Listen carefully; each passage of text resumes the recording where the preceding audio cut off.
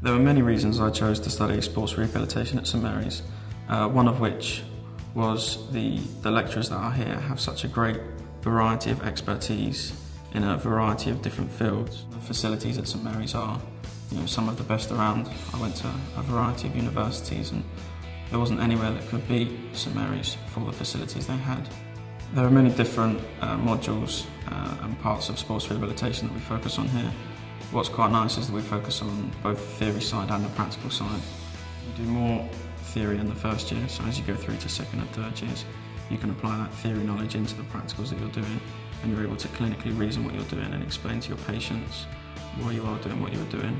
It's also quite useful that as we are quite a small course, you get to know both your, your fellow course mates and your lecturers quite well, who are always willing to help. I'm on a, a course at the moment where I'm doing at Millwall Academy, which gives me the ability to work within a sports team and also gives me the ability to do pitch side, which is always quite nice as I quite enjoy my football personally.